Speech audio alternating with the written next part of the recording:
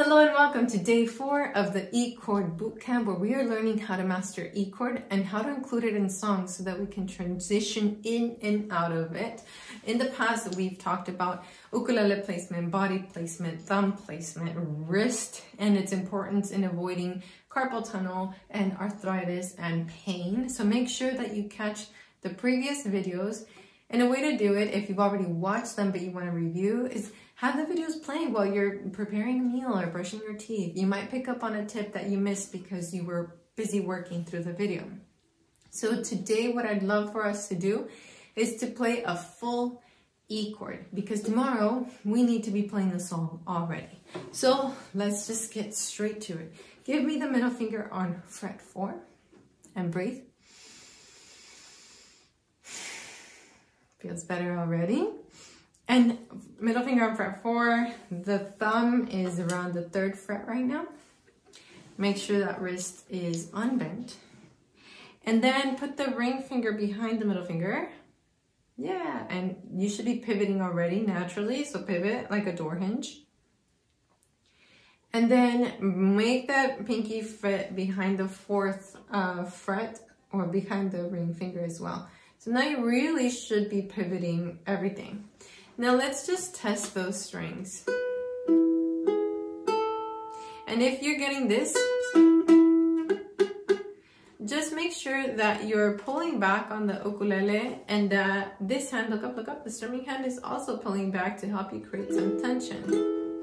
Another way to do it is just to practice. Uh, there's like a guitarist tool to strengthen the muscles and ukulele players can benefit from that too. So let go.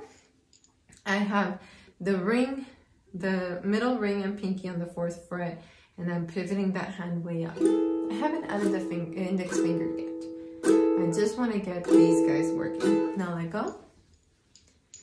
And now this time, let's work backwards. Put the index finger down first and pivot that slightly.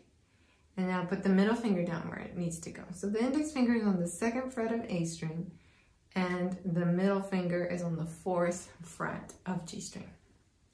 And for right now, just put down the ring finger. And if you can, put down that pinky. And see if it works. Let me know in the comments if it's coming out yet. And relax. We're gonna do that one more time, working backwards, starting on the index finger. Ready? Index finger on the second fret of A string, pivot, middle finger on the fourth fret of G, and then the other fingers just kind of lay down where they need to be. If your ukulele is way down here, if your thumb is way up here, it's not gonna work. Make sure you drop the thumb, open the wrist, breathe, and bring the ukulele out. All those little steps really, really matter. If I was doing this, it just, look at how it sounds for me.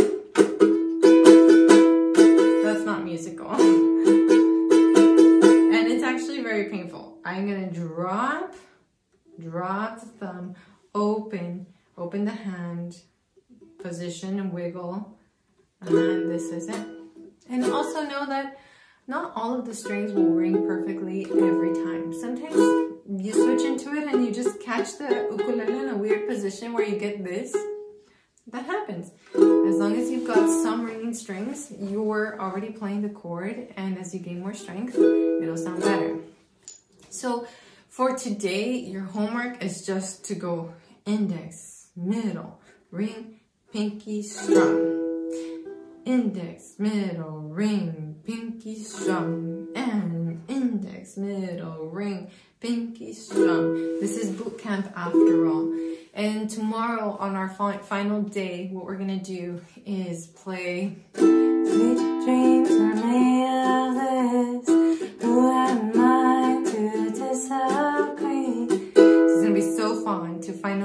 apply the E chord and we've been working already on that A minor. We worked on switching to that F major 7 before and we worked on switching to an E type chord so you have all of the foundation. We just need to take that little baby step to finish, finish our course. So come back tomorrow for that tutorial and I'll see you there. Ciao!